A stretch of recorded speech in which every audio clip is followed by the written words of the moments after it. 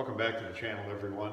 This video here is going to expand a little bit more on the previous video on repairing kinks and frame rails. Now we're on a unibody uh, car, front end that has been hit, got side sway in it, got some kinks in there. Now, years ago, they used to always claim you could repair these kinks if there was under 90 degrees of bend in it. So this rail here, it's got this kink comes up this way. If this area is greater than 90 degrees, it has to be replaced. But it's possible you're going to have a small bend in it here. You're not within the 90, or you're not over 90 degrees, so that can be repaired. Now, every manufacturer has different uh, views on this now, so you still have to go by their recommendations. And what usually happens, you get a sharp kink in here, say here's your frame rail, and you've got that kink running through here, you're going to get small little stress cracks in there. Once you get to that point, it needs to be replaced. So, like I said, every manufacturer is different, every frame is different. And I said in that last video, I was going to show a few options to deal with these. Uh, for years, GM, if you've seen uh, GM frame rails, where you could section part of it, and you used to buy, you get a section of rail, and you would see that symbol on here, and it would have an arrow and it, would be on the side, inside or outside, and that meant you could cut it right in front of that arrow. So it could be right in this area, it could be up here, depends where it falls. That was an option. And a lot of times what I've done, if this area was salvageable and you only needed to put this inner in, I just make a cut through this kink up and down to relieve the pressure the stress from that buckle, and then do my pulling. Put my forward pressure on there. That takes this kink out of the equation. It takes less pressure to straighten that. This panel can be salvaged and you could just put the inner one in. If you're over on this side, it's basically the same thing. It's a lot easier to get to on the outside on the, the, the right rail.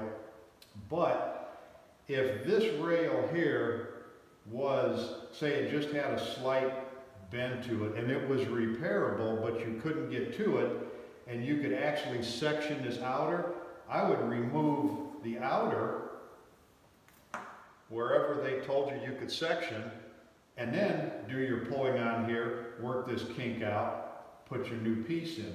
Another option that I've done too, you could actually, if, if you're able to section this rail, instead of even buying that section, and if it's if it just got a small bend to it, I would take and cut it right where it, you're allowed to section it, drill out the spot welds, remove that piece, then do your repair on the inner rail. Now you don't have to worry about matching this up. When you go to put that piece back on there, you've got one cut that you made with your cutoff wheel. If you used a spot weld bit to drill your welds out, you just put that right back into place. It, it'll line itself back up. You weld it in. So there are a few options you can do with these, but you have to determine is it a kink or is it a bend?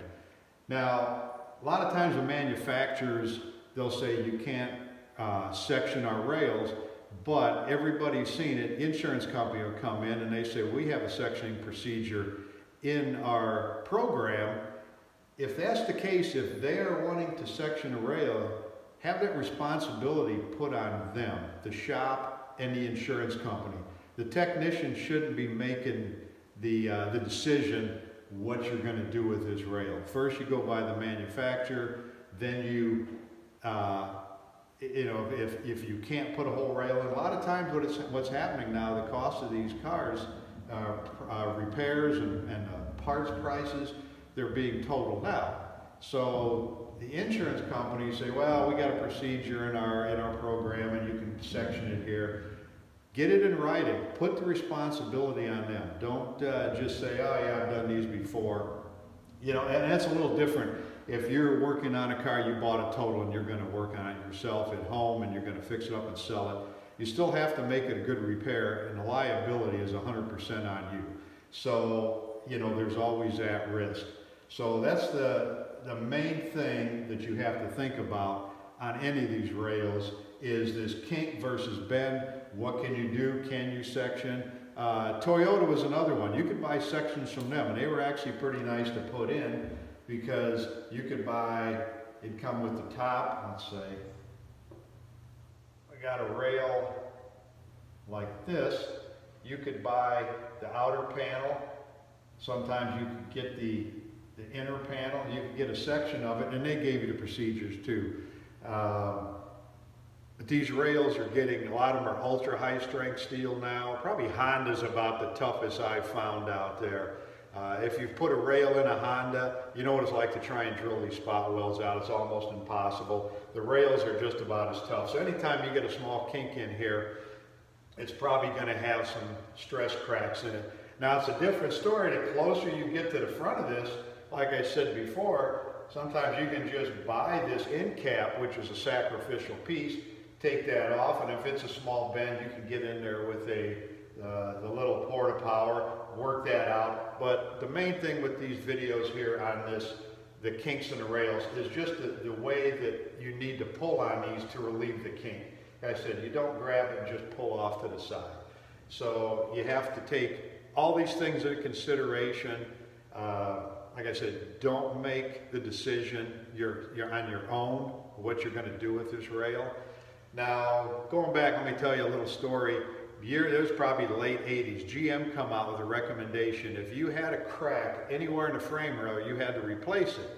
So, if you remember, going back a few years, GM, all their frame rails, they'd get hit and they would always crack right in these corners. Guaranteed. It didn't hardly take much of an impact. And what happened, there was a it was a body shop at one of the dealerships, a GM dealership. They had the factory reps come out to their shop and says, now we have a half inch crack in the front of this rail and your recommendation is to replace the whole rail. So at that point, you're gonna pretty much cut this whole car apart. You've got all these welds you've gotta chase under the floor pan, up the cowl, the tower. You gotta try and duplicate these welds, duplicate corrosion resistance, and make that factory new again just for a little half inch crack. GM come back and says, well, they changed it. If it's in six inches, the first six inches of rail, you could section it or you could weld it back up. But again, that shop had GM make the decision and they changed their, their story on that. And they said, yeah, small crack, welded up. So anyway, like I said, all these kinks, buckles, let somebody else make that decision. Uh, like I said, there's a lot of options out there. Maybe you can repair it. Another thing too, uh, insurance companies seem to go, well, we're going to buy a U-section rail and just put that in there. Most manufacturers don't allow anything used to be put on a car. No used quarter panels if they do, or if you do do that repair, uh, once again, you're liable for it.